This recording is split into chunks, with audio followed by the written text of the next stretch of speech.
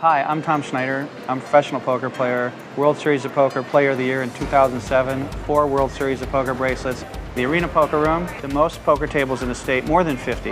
TVs, as far as the eye can see. They have the highest limits in the state.